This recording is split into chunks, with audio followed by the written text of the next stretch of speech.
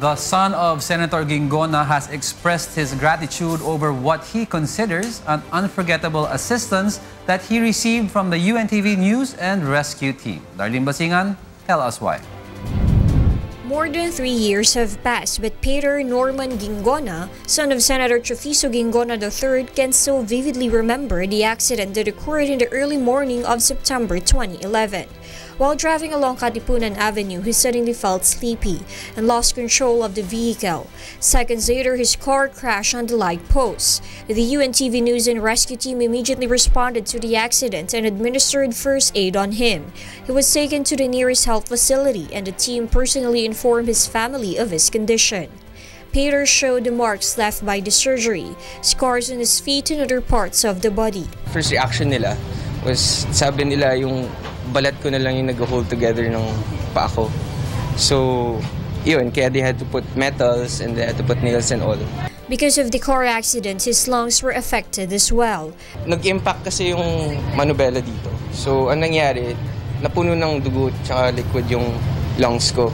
So, they had to put a, a tube para ma-drain lahat ng dugo.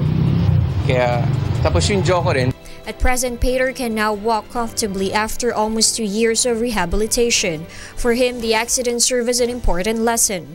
He said he feels indebted to UNTV News and Rescue Team for responding to the accident immediately.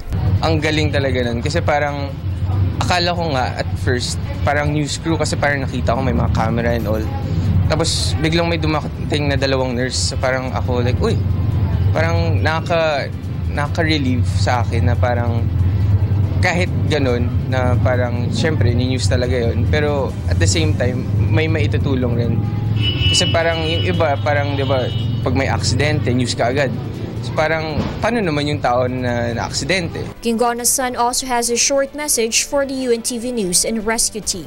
ituloy nyo lang yung fast re- reaction nyo na pag may narinig kayo kaagad, diretso kaagad sa scene. Tapos, wag na wag nyong tatanggalin yung ambulance and news thing na yung news crew and ambulance. Kasi malaking bagay talaga yun sa ibang mga tao. Na nagpapasalamat ako. I was one of those people who were able to receive that. In 2013, the Movie Writers Welfare Foundation recognized the rescue advocacy of UNTV Chairman and CEO Kuya Daniel Razon's Tulong Muna Bago Balita as one of the benchmarkers in the history of television. This is just one of the public services offered by UNTV through a partnership with Brother Eli Soriano and the members Church of God International. Senator Chufiso Gingono III has earlier recognized that Tulong Muna Bago Balita should receive support from the public because of its generosity in providing service to the public. Darlene Basingan reporting for Y News.